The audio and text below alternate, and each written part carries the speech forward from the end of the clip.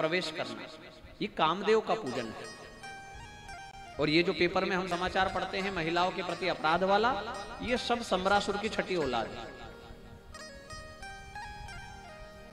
और इनके लिए तो जितना बड़ा सजा रखी जाए, बहुत हमारा अभी ढील पोल है कानून में। जितनी बड़ी सजा इनके लिए रखी जाए, उतनी कम है। ऐसा देश है भारत जहाँ का मांस खाने वाला पक्षी, या यूँ कहे, सड़ा हुआ मांस खाने वाला पक्षी, जो सड़ जाए मांस, उसको भी जो नोच कर खाए, उसका नाम है गिद्ध। और वह गिद्ध की योनि को प्राप्त हुआ, उसको कितनी बुद्धि होगी?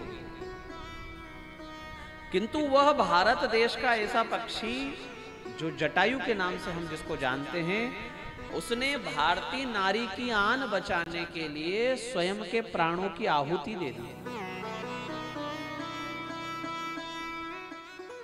उसको पता है कि मैं जिससे टकरा रहा हूँ, इससे बच पाना संभव नहीं है।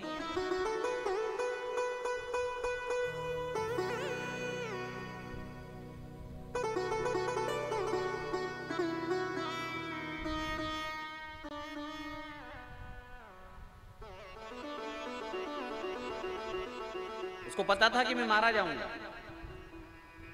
किंतु उसने मरना भी स्वीकार कर लिया।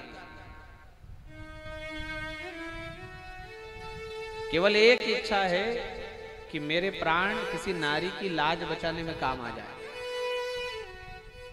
क्या सुंदर उदाहरण भगवान ने हमारे सामने प्रस्तुत किया? यहाँ कोई मानव नहीं है, देखो आप। यहाँ कोई मानव होता इस कथा में तो भी सब उसको स्वीकार कर लेते। कोई वनमानुष होता, कोई जंगल में रहने वाला भील कोल की रात होता, वो सीता जी के लिए लड़ जाता। तब भी हम उसको स्वीकार करते किंतु कथा को भगवान ने किस प्रकार से लीला की है, कितना दूर दृष्टिकोण रखते हुए ये बताया है कि ये वो देश है जहाँ मांस खाने वाला पक्षी भी इतना जानता है कि एक नारी की लाज की क्या कीमत है और वहाँ का आदमी आज इतना गिर चुका है, उसके विचारों का इतना नैतिक पतन हो चुका है कि वह दूसरे की बहन बेटियों के प्रति दुर्व्यवहार करता है, बुरी दृष्टि रखता है। उसको घर से उसकी मैया ने नहीं सिखाया। उसको बहन बेटी का सम्मान करना नहीं सिखाया।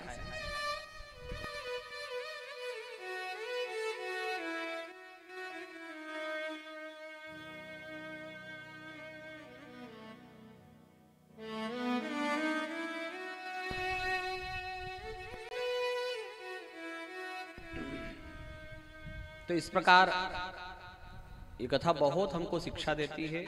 मैंने बहुत कम शब्दों में आपको बताया, इस पर विचार, विमर्श होना चाहिए। और जो पढ़े लिखे नौजवान भाई बहन हैं, बुद्धिजीवी हैं, वो समझे कि ये कथाएँ क्यों आई हैं और कैसे आई हैं। कितना सुंदर प्रयोजन है इनका। और किस प्रकार से समाज की बुराई को ये समाप्त कर सकती है। किस प्रकार से नर और नारी को एक रूप में लाकर खड़ा कर सकती है? आज सरकार के ऊपर बड़ा दबाव है। पहला दबाव तो है कि नर नारी को एक समान मानो, एक समान रखो, और वहीं पर कोई नारी रात्रि में अकेली जा नहीं सकती, आ नहीं सकती। कोई उसको ज़रूरी काम हो जाए तो क्योंकि उसको डर है, उसको भय है। ये कथाएँ इसीलिए है कितना सुंदर प्रसंग है ये। भगवान के अन्य विवाहों की कथा है। इसमें भगवान के ऊपर आरोप लगा है एक मणि का। उस मणि का नाम है स्यमंतक मणि और उसकी विशेषता है कि वह आठ भार, अर्थात लगभग 500 टन सोना रोज देती थी। और ऐसी मणि का आरोप भगवान के ऊपर लगाया एक बार तो।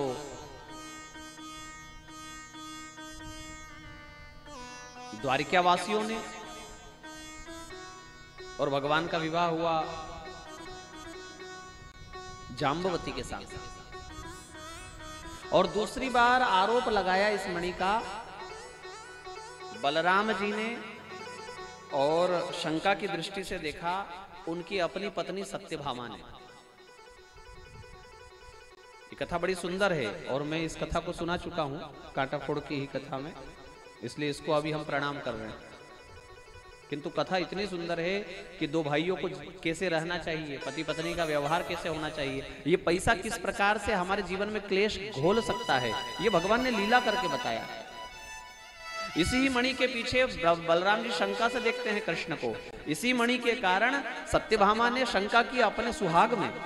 इसी मणि के कारण इन द्वारिकावासी, जो कि कभी कभी कभी मथुरावासी हुआ करते थे, जरासंध के निशाने पर जो लोग थे, मारे जाते। भगवान ने न केवल उनका जीवन बचाया, प्राण बचाया, अपितु उनको सोने के घरों में रखा, स्वर्ण महलों में उनको रहने का स्थान दिया। वो लोग कृष्ण पर आरोप लगाते हैं, कृष्ण ने चोरी की तो हमको परिवार में रहते हुए किस चीज़ को देखना है? पैसे को देखना है या परिवार को देखना है? यह हमको निश्चय करना है। आज भाई भाई के अधिकार का हनन करने पर तुला हुआ है। अपना तो अपना है ही, पर भाई का भी कैसे हत्या लिया जाए? इस पर उसका दृष्टि रहती है। अब जब वो अपने सगे भाई का ही खाने को तैयार है तो फिर दूसरे का तो पूछो ही मत। हाँ अड़ोसी पड़ोसी कोई खेत के पास में किसी की मेर हो तो अब की बार की तार फेंसिंग में थोड़ा सा बढ़ा दिया जाए। दो फीट। मणि, अर्थात मणि। ये कथा मणि की है ना सेमन तक मणि। उसको मणि भी कह सकते हो आप, पैसा।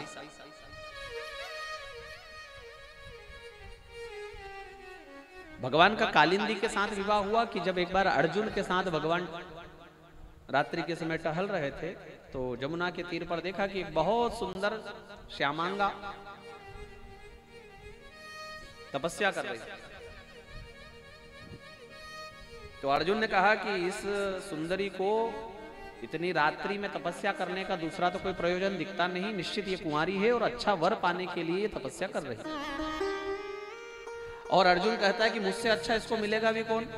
भगवान को कहता है। इसलिए क्यों ना मैं जाकर के इससे बात करूँ? भगवान ने कहा, ठीक है भाई, तू जा, बात कर। और कालिंदी के समीप आकर वह अर्जुन अपना परिचय देता है और पूछता है, सुंदरी, तुम कौन हो?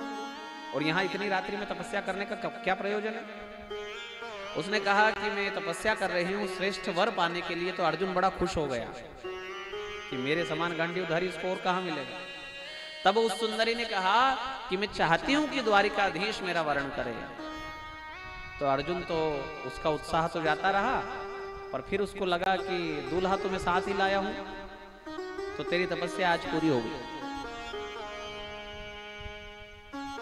नागन जीते को भगवान ने सात ऐसे बेलों को एक साथ नाथ कर जीता, जो हाथी के समान बलवान थे। और उस राजा की शर्त ये थी कि इन बेलों को जो एक साथ नाथ देगा, एक साथ, एक एक करके नहीं। और बड़े बड़े वहाँ शूरवीर आए, योद्धा आए। इनमें पांडव लोग भी थे, कौरव लोग भी थे। किंतु भगवान ने जो बचपन में गोचारण लीला की ना, वो काम आई। और भगवान ने खेल ही खेल में उन सात, सत्या के साथ भगवान का विवाह हुआ, भद्रा के साथ में इस प्रकार एक अष्टपटरानी भगवान की अष्टधा प्रकृति आई। सोलह हज़ार एक सौ विवाह भगवान के हुए। भोमासुर को हराकर और भगवान के पुत्र हुए। उनकी संख्या सुखदेव जी बताते हैं, राजन एक एक रानी से दस दस बेटे। और एक एक कन्या। सोलह हज़ार एक सौ आठ।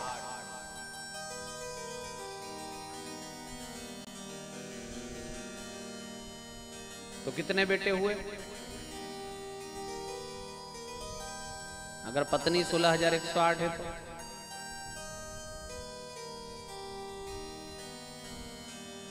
हाँ? एक लाख इकसठ हज़ार कुछ है। और इतनी ही बेटियाँ, सोलह हज़ार एक सौ आठ बेटियाँ। परिवार बड़ा होना तो नाम भूल जाना स्वाभाविक है। और जिनका परिवार इतना बड़ा हो कि सोलह हज़ार एक सौ आठ तो पत्नियाँ हैं, उसको दूसरी पत्नी के नाम से भी नहीं पुकार सकते। गलती से यदि सत्यभामा को बुलाना हो और मुँह से रुक्मणी निकल जाए, बस फिर तो हो गया झगड़ा। इसलिए ये कथा हमको सिखाती है कि ये कार्य केवल भगवान कर सकते हैं। दूसरे के बस का नहीं। हाँ लोग ज़रूर उनकी नकल करते हैं। आज भी कई लोग ऐसे, हमारे धर्म के विरोधी लोग भी ऐसे खड़े हैं, जो भगवान की इस कथा पर शंका करते हैं और प्रश्न खड़ा करते हैं। मनमाना आचरण करने वाले कई लोग ऐसे हैं जो हमको कहते हैं कि भगवान के इतने विवाह हुए, हम दो चार नहीं कर सकते। भगवान की रास लीला हुई। हम नहीं कर सकते। बिल्कुल कर सकते हो साहब। मना किसने किंतु ध्यान रखना, भगवान की रासलीला से पहले भगवान ने काली नाग के मस्तक पर नृत्य किया। और तुम छिपकली देख करके पलंग पर चढ़ जाओ। और बराबरी करना चाहो भगवान की। भगवान ने इतने विवाह किए, इससे पूर्व भगवान ने गिरिराज पर्वत उठाकर रखा। और आजकल तो कोई कहीं जाए ना तो उससे सूटकेस ना उठे। स्टेशन तक। इसलिए कृष्ण ने जो किया है, वो करने जाओगे, उलझ जाओगे। कृष्ण ने जो कहा है, वो करो। गीता जी जो उसने सुनाई है, उसको पढ़ो, समझो और वैसा होने का प्रयास करो। हाँ राम ने जो किया है, वो कर सकते हो। जो जीवन राम ने जिया है, वो जीवन हम जी सकते हैं। वो संभव है। किंतु कृष्ण ने जो जीवन जिया है ना वो तो बार बार स्वयं कहते हैं कि मैं भगवान हूँ। तो वो भगवान है, स्वयं बोल रहे हैं। राम जी कहाँ बोलते हैं कि मैं भगवान हूँ? वो तो बचने का प्रयास करते हैं। कोई समझ भी जाए तो भगवान वहाँ से धीरे से निकलने का प्रयास करते हैं राम जी तो। किंतु कृष्ण जी तो छाती ठोक कर कहते हैं, गीता जी में कहा है कि मैं ही भगवान हूँ। तो उसकी बराबरी करने कहा जाएँगे? प्रद्युम्न जी के पुत्र हुए अनिरुद्ध।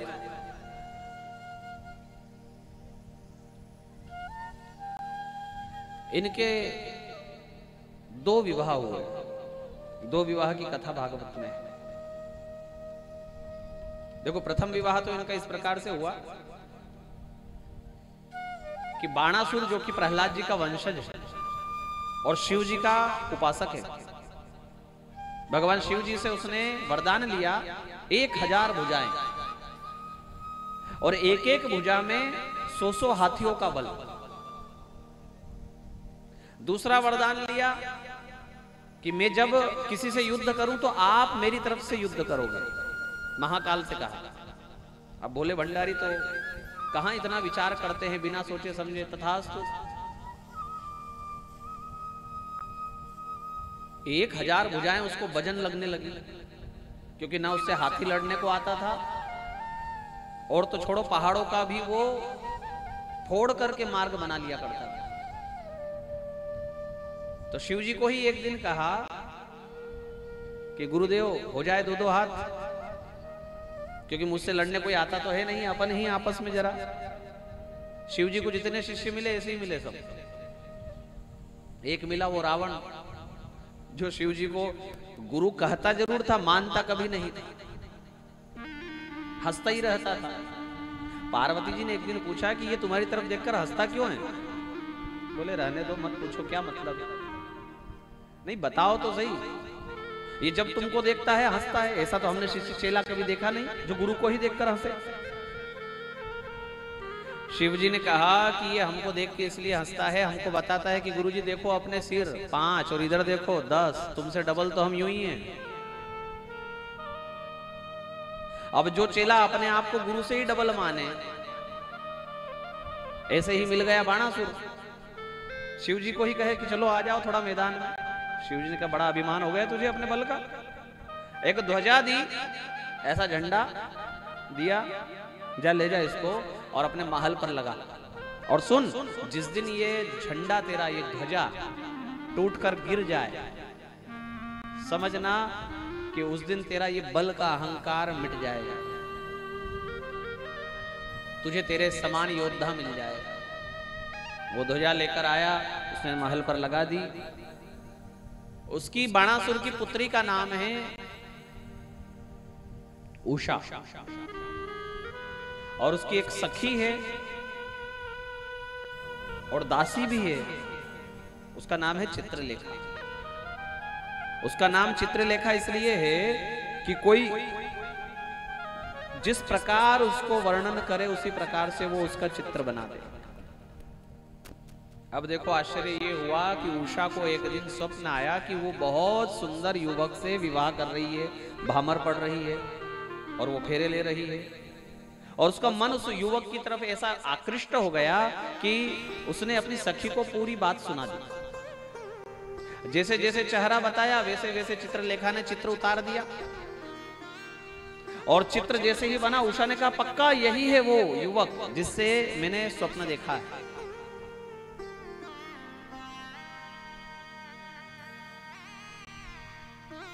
चित्रलेखा तो मायावी थी, उसने आँखें बंद करके तुरंत जान लिया। कौन है ये? अरे, ये तो द्वारिकाधीश का पोता है। अनिरुद्ध, बहुत सुंदर है दिखने में। मानो स्वयं कृष्ण का ही एक अवतार है। इतना सुंदर। ये भगवान के चार अवतार है। जब भगवान अपना चतुर्व्यूह रूप लेते हैं, तब पूर्णावतार है। राम, लखन, भरत, शत्रुघ्न और कृष्ण, बलराम, प्रद्युम्न, अनिरुद्ध। तो ये पोते के रूप में भगवान का ही अंश है। चित्रलेखा ने रात्रि में सोते हुए अनिरुद्ध जी का हरण कर लिया पलंग सहित, माया से।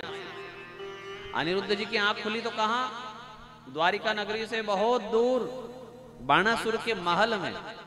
और आँखें खुली तो सामने दिखी उषा।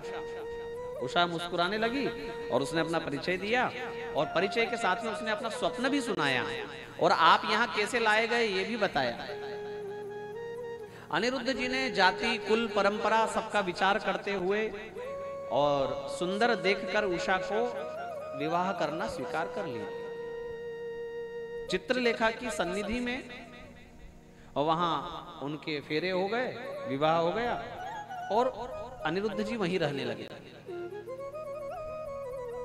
उसी कक्ष में बाहर नहीं जाते। बाहर जाएगा, अपना घर हो तो बाहर जाए दरवाजे पर खड़े द्वारपालों ने सुन लिया। अंदर से पुरुष के हंसने की आवाज़ आ रही। तो उन्होंने जाकर कहा बाणासुर को महाराज, ज़्यादा तो नहीं बोल सकते, किंतु कन्यायाम कुल दूषणम। आपकी कन्या क्या हो गई है? कुल का दूषण हो गई है। सुनकर बाणासुर को आया क्रोध। अगर सत्य ना निकला तो तुमको फांसी पर चढ़ा दूँगा। स्वीकार और आकर देखा तो सचमुच अनिरुद्ध लेटा हुआ है पलंग पर। और उषा उसकी सेवा कर रही है। ये देखकर बाणासुर ने बाँध लिया अनिरुद्ध बलवान तो बहुत था वो, और कारावास में डाल दिया। द्वारिका नगरी में भगवान नारद जी आए और कहा भगवान को। सब बढ़िया तो है, कुशल मंगल तो है ना? बोले हाँ सब बढ़िया है। अच्छा आपका परिवार बराबर दिख रहा है? परिवार इतना बड़ा हो गया कि उसको भी समझना पड़े। हाँ उसको भी देखना पड़े कि कोई गायब तो नहीं है। लाखों की संख्या में जिनके बच्चे हो गए, फिर उनके बच्चे करोड़ों पर तो पहुँच गए। कहते हैं कि एक करोड़ सैनिक तो अकेले उग्रसेन जी के साथ रहते थे। ऐसा परिवार यादव वंश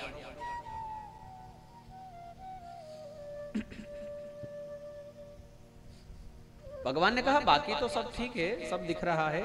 आजकल मेरा पोता अनिरुद्ध नहीं नज़र आता नारद जी तो यही बताने आए थे। अरे महाराज, दिखेगा भी कैसे? आपको तो ध्यान ही नहीं है कुछ। क्यों भाई? बाणासुर के यहाँ बंद है जेल में। और पूरी पूरी बात नारद जी ने सुना दी। प्रद्युम्न को सेनापति बनाकर, कृष्ण और बलराम यादवों की सेना लेकर और बाणासुर पर चढ़ाई करने के लिए चल दिए। जिसका सेनापति हो प्रद्युम्न जैसा, और जिससे लड़ने के लिए बलराम जैसे शेष नाग के अवतार और स्वयं अखिल ब्रह्मांड नायक श्री कृष्ण जिस पर चढ़ाई करने जाए उसका रक्षक कौन होगा? उसी समय उसकी ध्वजा टूटकर उसके सामने गिर गई, घबरा गया। शिव जी को याद किया कि आपने कहा था कि ध्वजा टूटे तो समझना कि तेरे बराबरी का कोई आ रहा है, न जाने कौन आक्रमण करने आ रहा है। आप खड़े हो जाओ दरवाजे पर। शिव जी अपनी सेना लेकर के भूत प्रेतों की, और भैया ठीक है, खड़े हो गए। अच्छा ये सब रचना लगाने वाले नारद जी हैं। कि हरि और हर आमने सामने हो कभी युद्ध के मैदान में तो कैसा लगेगा? देखे तो सही। तो ये सब व्यवस्था जमाने वाले नारद जी। इधर दरवाजे पर खड़े महाकाल और उधर से चढ़ाई करते हुए आए हैं सुदर्शन चक्रधारी। अब इन दोनों के बीच का युद्ध अगर हो तो ब्रह्मांड का नाश हो जाए तो संतों ने, ऋषि मुनियों ने प्रार्थना की तो दोनों ने अपना अपना ज्वर प्रकट कर दिया। ज्वर यानी बुखार।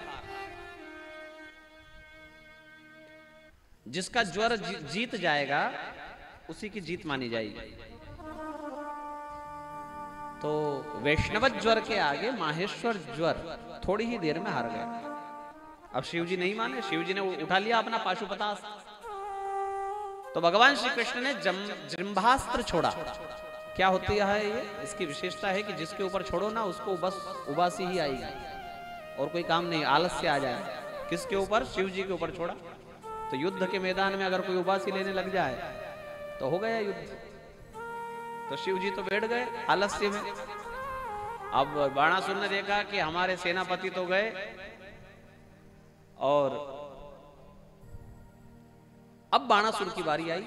भगवान के सामने वो आकर खड़ा हुआ तो उसकी क्या बिसात थी? वो भगवान का सामना करे। भगवान ने अपना सुदर्शन तो नहीं चलाया, किंतु एक साथ अपने शारंग धनुष पर नौ सौ बाण चढ़ाया और एक साथ उतने बाणों का संधान किया। एक एक बाण ने एक एक उसकी भुजा को काट कर ज़मीन पर फेंक दिया। कितनी भुजा थी उसकी? हा? बताओ। नहीं पता। बहुत बढ़िया कथा सुन रहे हो। किसी को भी नहीं पता। धन्य हो। इतना ध्यान है अपना कथा में। एक हज़ार भुजाएँ उसकी थी और नौ सौ छानो काट दी तो कितनी बची? कोटरा नाम की उसकी धाय माए सामने आकर खड़ी हो गई और कहा कि, नाथ, आप क्या हम मेरे पुत्र को मार दोगे? बोले, मैया मारना होता तो पहले ही मार देता। ये इतना परिश्रम थोड़ी करता। जरा पलट कर देख कि तेरा बेटा कैसा लग रहा है। तो उसने देखा, क्या? कि सामने भी चार बुझाधारी खड़े हैं और इधर भी चार बुझाधारी मेरा बेटा हो गया। भगवान ने उसे अपना रूप दे दिया। चार बुझा वाला बना दिया। क्योंकि ये प्रहलाद का वंशज है। और भगवान नरसिंह ने वचन दिया था प्रहलाद जी को कि तेरे वंश में मैं किसी को नहीं मारूँगा। ऐसा बड़ा सुंदर अनिरुद्ध जी का विवाह सुनाया। इसके पश्चात राजा नृग की कथा आई है, जो कि एक सरकंडा बनकर, गिरगिट बनकर के एक बहुत बड़े कूप में पड़ा था। उसको एक करोड़ वर्ष के लिए ये योनि मिली थी। और बच्चे खेल रहे थे गेंद से, गेंद गई कुएँ में, तब उन्होंने देखा बहुत बड़ा वो गिरगिट तो उसने भगवान को आकर सबने कहा कि इतना बड़ा गिरगिट आज तक हमने देखा नहीं। भगवान ने उसे कुएँ से बाहर निकाला और भगवान का स्पर्श पाकर वो बहुत सुंदर रूप और आकृति में सुसज्जित होकर, देवतुल्य होकर भगवान को प्रणाम करता है। भगवान तो सब जानते हैं कौन है, क्या है, किंतु बच्चे वहाँ खड़े थे ना, बच्चों को सिखाने के लिए। भगवान ने पूछा, कौन है? और ये रूप आपको कैसे मिला? कहाँ जा रहे हो आप? तो वह कहता है कि, जब इस पृथ्वी पर दानवीरों की का नाम होगा, दानवीरों की गणना होगी उस सूची में आपने मेरा नाम तो सुना ही होगा। दानियों को ये थोड़ी सी समस्या होती। है दान तो करे, पर बाद में उसका नाम ना आए ना तो वो टेंशन में आ जाता। है उसका बोलने का तरीका क्या है? आपने मेरा नाम नहीं सुना। मुझे मुझे नहीं जानते आप। भगवान को कह रहा है। और वास्तविकता में वो उतना बड़ा दानी है, पर आजकल तो थोड़ा बहुत भी कुछ हो जाए तो पत्थर के बिना तो कोई माने ही नहीं। एक पत्थर तो होना अपने नाम या तो देगा ही नहीं, और देगा तो थोड़ा बहुत तो कहीं स्लिप तो चिपकी हुई होनी चाहिए ना हमारे नाम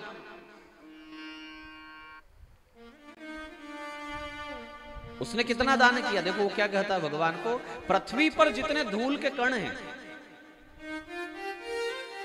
या आकाश से जितनी बूंद वर्षा की बरसती है, या अंबर में जितने तारे हैं, इनकी संख्या ज़रूर गिन ली जाए। किंतु मैंने जितनी गायों का दान किया है, इस संख्या को गिनना असंभव है प्रभु। और मैंने सबकी सब कपिला गायों का दान किया है। स्वर्ण और रजत से मड़ करके उनका दान किया गलती एक हो गई बस केवल, कि मैंने एक गाय का दान किया। एक ब्राह्मण को, और वो ब्राह्मण अपनी गायों को लेकर जा रहा था। उनमें से कोई एक गाय पलट गई होगी। ब्राह्मण ने ध्यान नहीं दिया और वो पुनः मेरी गौशाला में आ गई। तब दूसरा ब्राह्मण आया और भूलवश मैंने वही गाय उस ब्राह्मण को दान में कर दिया अब वो पहले वाला ब्राह्मण पहचान गया कि ये तो मेरी गाय है। और दूसरा वाला कहे, नहीं नहीं, ये तो मेरी गाय है। तो झगड़ा कौन मिटाएगा? राजा के पास जिसने दिया। वहाँ सब आए और प्रश्न खड़ा हुआ कि गाय किसकी? अब राजा समझ गए कि गाय मैंने गलती से दोनों को दान कर दी। तो झगड़ा समाप्त करने के लिए राजा ने पहले ब्राह्मण को कहा कि भाई, इस गाय के बदले दस हज़ार गाय तुझे देता हूँ। गाय मुझे दे दे। बोले, नहीं। दूसरे ब्राह्मण को कहा कि आप रहने दो इस गाय को, इसके बदले में आपको दस हज़ार गाय दे देता ब्राह्मण ने कहा, नहीं। अच्छा इन ब्राह्मणों ने क्यों मना कर दिया? प्रश्न ये खड़ा होता है, आज की परिस्थिति को देखते हुए, आज की जो गाय को लेकर के विषय बना हुआ है ना, इन दोनों ब्राह्मणों ने दस हज़ार गाय लेना क्यों मना कर दिया? एक गाय के बदले, घाटे का सौदा था क्या? सबसे पहली बात तो कि रुपया नहीं दिया जा रहा था। वस्तु के बदले वस्तु दी जा रही थी और वो भी दस हज़ार गुना। गौ माता के बदले उसी के समान दस हज़ार गाय दी जा रही थी तो क्यों ब्राह्मणों ने इनकार कर दिया दोनों ने? इसका कारण है कि उस गाय का विक्रय करना ब्राह्मण नहीं चाहते और ये बे, बेचने का काम हो रहा था। चाहे मूल्य दस हज़ार गाय थी चाहे सोना नहीं था चाहे रुपया नहीं था चाहे ज़मीन नहीं थी चाहे गाय ही उसका बदला था किंतु सौदा तो यही हुआ ना कि ये लो और ये दो। ये कथा हमको सिखाती है कि गाय बेचना कितना बड़ा अपराध है। वो एक समय था जब गाय के बदले भी गाय नहीं बेची जाती थी और आज पैसे के बदले गाय बेची जाती है। मैं कहता हूँ लोगों को कि भाई जो काट रहे हैं ना गाय, उनके तो धर्म ग्रंथ में लिखा है गाय काटने का। पढ़ लेना कभी आप, आपको फुर्सत नहीं पुराण पढ़ने का। आपको फुर्सत नहीं रामायण पढ़ने का गीता जी पढ़ने का तो कम से कम उनका ग्रंथ तो पढ़ लो, एक बार उठाकर उसमें लिखा है गाय काटने के लिए। किंतु दोष उनका नहीं है। दोष ऐसे व्यक्ति का है जो अपने आप को हिंदू बोल करके गाय बेचता है। कलंक है ऐसे लोग हिंदू होने के नाम पर जो गाय बेचते हैं। कहते हैं उसको माँ। गाय को क्या कहते हैं? गो माता। नाम तो इतना अच्छा दिया, किंतु माता बोलकर बेचा है। हाँ जितने जितने को माँ कहा है ना, सनातनियों ने, सबकी दुर्गति कर दी। सबकी दुर्गति कर दी। नर्मदा जी को माँ कहा, गंदा किया। गाय को माता कहा, बेच दिया। और किस किस को माता कहा है? घर में मैया को माँ कहा। हाँ जिसने जन्म दिया है।